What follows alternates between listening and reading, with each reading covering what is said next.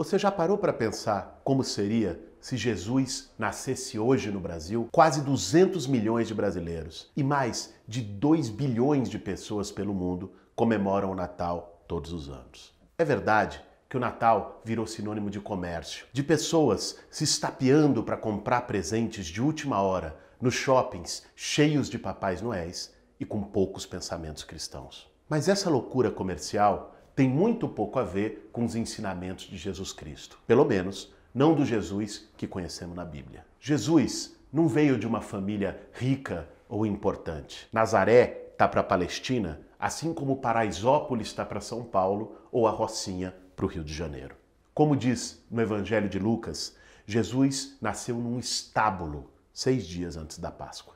O estábulo não pertencia a José e a Maria. Eles estavam lá porque não tinham nenhum outro lugar para ir. Sim, é verdade. Jesus, como milhares de outras crianças, nasceu sem teto. Quantos juízes no Brasil de hoje não mandariam despejar a família, mesmo com a mãe grávida? Desde que nasceu, Jesus foi perseguido pelos governantes, como se fosse um criminoso. As escrituras contam que o rei da época mandou matar todas as crianças com menos de dois anos nos arredores de Belém com medo da chegada do Filho de Deus. Você pode estar pensando, mas o governo mandava matar crianças? Que horror! Pois é, no Rio de Janeiro, pelo menos seis crianças foram mortas durante ações policiais em favelas, uma delas, Agatha Félix, de seis anos, que morreu com um tiro de fuzil nas costas. Em São Paulo, a vítima mais jovem do massacre de Paraisópolis foi um menino de apenas 14 anos. Jesus dedicou toda a sua vida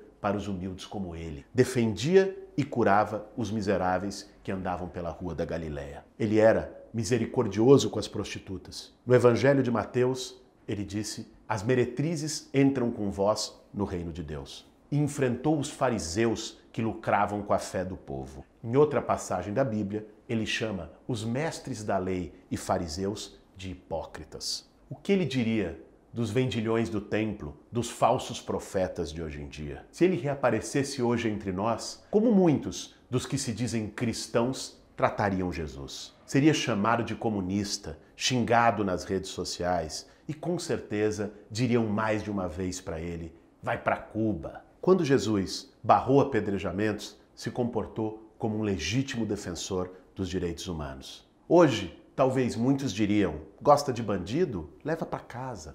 E como costuma dizer Frei Beto, Jesus não morreu nem de velhice, nem de doença e nem atropelado por um camelo nas esquinas de Jerusalém. Foi crucificado, sem direito a julgamento algum. Foi vítima de torturadores. E naquela época também existiam entusiastas da tortura que aplaudiram a sua morte de pé.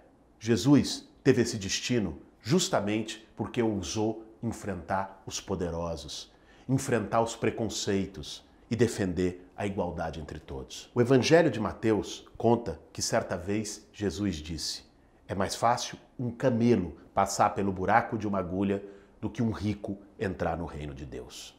Ele defendeu a divisão dos bens como expressão da igualdade social. E Marcos, no seu Evangelho, conta como ele partilhou entre todos os pães e os peixes. Jesus remava contra a maré. Nesse Natal, minha sugestão é que você junte seus familiares e amigos e pergunte a eles: Você ficaria do lado da mulher grávida debaixo da lona ou do juiz que assinou sua ordem de despejo? Da criança assassinada na favela ou do rei que mandou matá-la? Da prostituta apedrejada ou do falso profeta que lucra com a fé dos humildes? Do torturado ou do torturador?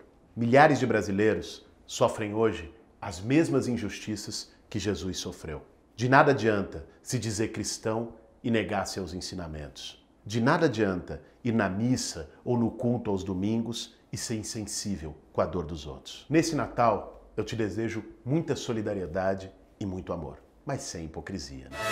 Para fazer um bom café, meu bem